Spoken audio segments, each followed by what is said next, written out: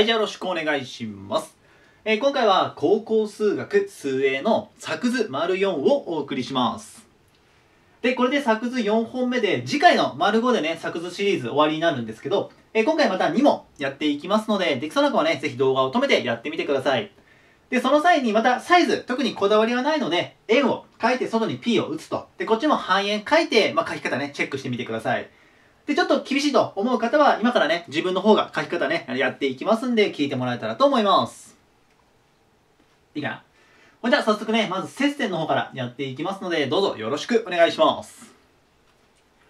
よし、じゃあ行きましょう。で、まあ、いつものことでちょっとフリーハンドになってしまうんですが、ご容赦ください。で、えっと、定規で書くのが青。で、コンパスの後が赤となります。じゃあ行きましょう。で、1番はですね、円があります。で、外に P があって、そっから接線、円に向かってね、接線を書いていくと。だから、イメージとしては2本あるんですけど、ここと、こういう感じ。まあ、この2本を書いていきたい。で、えっとね、接線に関しては、まあ、書き方を覚えちゃうと楽です。ほんとすごいシンプルで終わるので。で、最後になんでその書き方でいいのかっていうのも一応説明します。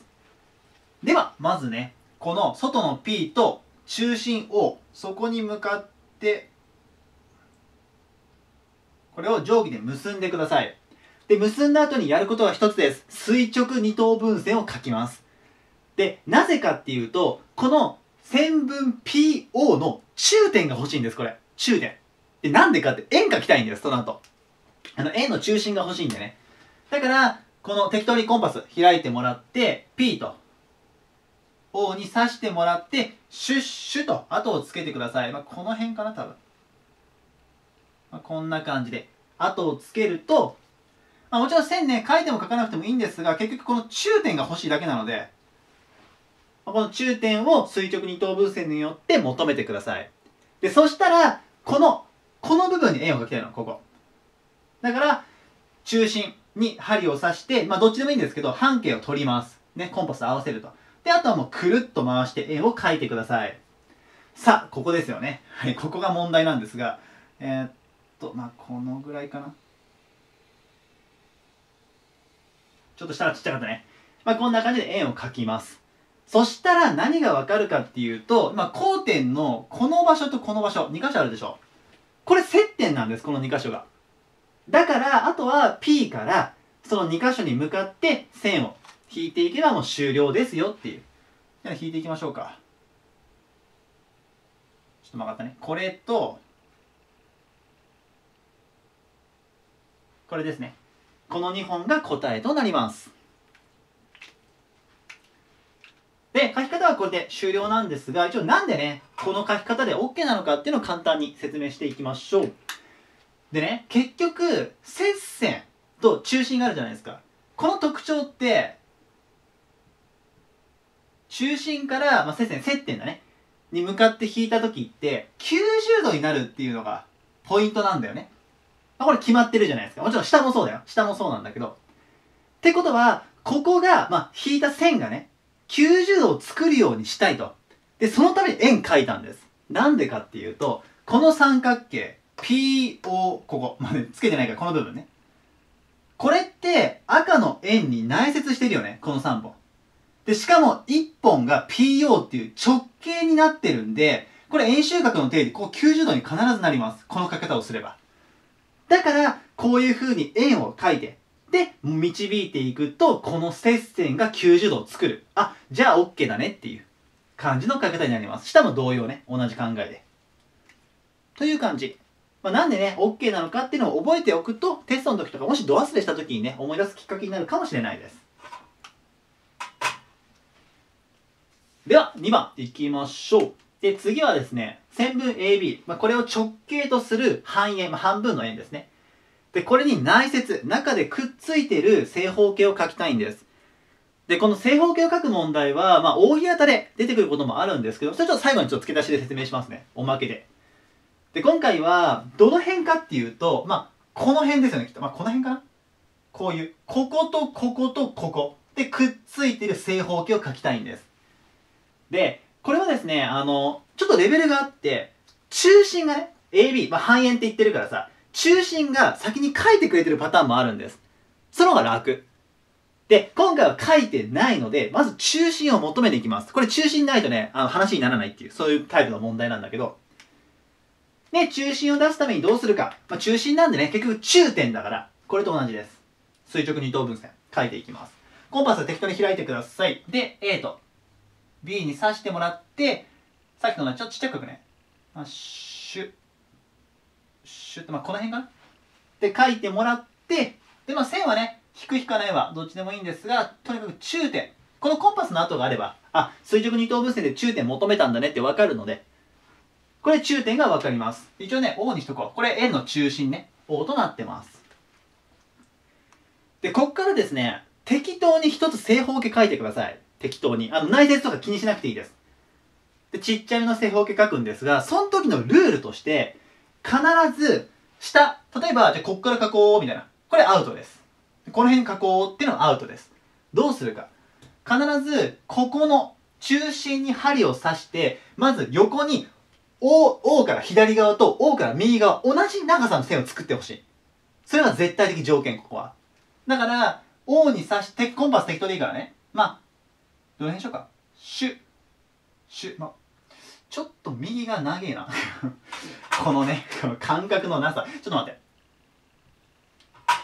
えっと、この辺かなに長さを取ります。これ今左側と右側同じです。刺して、シュッ、シュってやれば同じ長さが取れます。で、この、ちょっとなぞろうか。この長さを一辺とする、今、正方形を書いてほしいんです。で、左、右、どっちでも構わないので、まず、水線を書きます。水線。水線は、ここに、針を刺して、くるっと回して、シュッシュで伸ばすは書けるからね。ちょっとこれ書かないんですけど、水線の書き方で、こうやって水線を書いてください。で、書いたら正方形を書きたいので、この長さ、ここね、赤をコンパスで取って上にシュッてします。同じ長さにしたいから、シュッて。そうすると、まあ、この辺かな、きっと。大丈夫かな？そうするとここがわかる。で、そしたら右上っていうのは全部ね、正方形同じ長さだから、このな、このコンパスのまんま、ここに刺してシュです。ここに刺してシュッてすると、えっ、ー、と、こんな感じかな？でできるのであとはつなげるつなげるちょっとおかしくなっちゃったけどこうやって正方形ができますでこの正方形のサイズは気にしなくていいですどんなでも大丈夫ちゃんとかけてれば最初のこの条件だけ満たしてれば OK ですでこの後何するかっていうとポイントなのはよいしょこの左上のここと右上のここですこれを中心の O から向かって定規を引いてください。定規で線を引いてください。定規を引くってほしいね。こんな感じ。ちょっと曲がったな。まあ、こんな感じです。で、結局、求めたかった正方形っていうのは、こことここを通ります。だから結んで OK です。この2箇所。よいしょ。こういう感じ。これが一辺の長さでわかる。で、一辺がもう分かってしまったので、コンパスで測ってください。で、刺して、シュッてやれば下と交わるし、刺して、シュッてやれば下と交わるので、あとは、コンパスの跡を取って、まあ、この辺だから、こうするから、まあ、こういう感じだと残るかな。で、こっちも、こういう感じだと跡が残る。で、あとは引きます。そこに向かってね。これちょっとこれ完全に俺がね、これずれたね。ちょっと後付けで申し訳ない。まあ、こんな感じで跡がつくはず。で、CDEF って言ってるから、まあ、順番ね、気にしなくていいかな。CDEF と。これが書きたい正方形となります。で、なんでこの書き方でいけるかっていうと、実は、今正方形ね、この条件さえ満たしてれば適当な大きさでいいよって話をしました。これ、もっと小さく書いたとしても、左上と右上は必ずこの直線上に乗ります。なぜなら、全部正方形だから、相似なんだよね。結局同じ正方形、ちっちゃい正方形を拡大してってるだけだから。絶対に右上左上は乗るの。だって右下左下も乗ってるんだから。一直線、同じところに。直線上にあると。ってことは、その直線さえ求めてしまえば、あとぶつかるとこを見つければ、ね、その C と F、そこが見つかるので、で、そうすれば一辺がわかる。一辺が分かってしまえば、あとコンパスでやっていけるよね。っていう感じです。これあとここも引かなきゃまずいね、一応ね。こうだね。これで正方形完成となります。で、最初にもちょっとね、話をしましたけど、まあ、扇形とかもよく出てきます。これおまけでちょっと書けるかなあの、ちっちゃくなっちゃうんで、もし見にくかったら、あの、パソコンでね、見てる方は拡大でちょっと見てください。例えばですけど、まあ、こうやって扇形がありますと。で、この、下の AB にくっつく、で、くっついて、しかもね、こっちの外にも内接する。正方形書きなさいって言われた場合は、えー、っと、はい、あ、B ギリギリだね。ちょっと待って。まあ、見えるっちゃ見えたろうけど、一応ね、ここにしとこう。で、場合はですね、えっと、この子に一辺が欲しいんですけど、この斜めのところ、適当に一箇所取ります。ピッて。で、そっから、えっと、水線で下ろしてください、下に。で、水線で下ろす。こうやって。ちょっと赤で書いちゃうごめんね。下ろします。それを一辺とする正方形書いてください。で、一辺分かってるんで、横にシュッてやれば横の長さも分かるし、で、あとはね、横と、こういうふうにシュッシュッてやれば正方形書けるから、こうなります。で、さっきは左上と右上をこう直線で伸ばしましたけど、ここに関してはこの右上だけ分かりたいので、A からピーって伸ばした。ここが右上になります。で、あとは下に水線下ろしてきてあげれば、水線書けたね。下ろして、ピーってなる。一辺がわかるんで、真横にコンパスでやって、真横にやれってやっていけば、こうやって正方形書ける感じ。これ、覆い型のやつ。で、もう一個あってこれ、これまずいな。これいけるかどこだちょっとこの辺ですいません。ごめんね。で、今は下一辺って決まってるんですけど、そうじゃなくて、こういう覆い方もあるの。これに内接する正方形みたいな。で、その時は、ちょっとこれと似てるんですけど、最初に、ここにコンパス刺して適当にシュッてやります。えっとね、例えばこういう感じで後を残す。そしたら、ここを一辺とする正方形を書いてください。こういう感じで。で、それが書けたら、あと左、あ、ごめん、右上と右下か。に向かって定規を伸ばして、そこが2点、ここね、ぶつかったとこが正方形、求めたい正方形の一辺。一辺が分かれば、あとコンパスで書くことができるから、こんな感じで書けば、えっ、ー、と、覆い型に内接する正方形も書くことができます。ちょっとね、おまけをね、駆け足で喋っちゃいましたけど、まあそういう風に出てくることもあるんでね、もしよかったらセットで覚えてください。